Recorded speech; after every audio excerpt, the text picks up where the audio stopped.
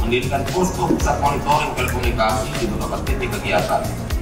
Tim ini telah dan akan melakukan monitoring kualitas jaringan telekomunikasi secara berkala.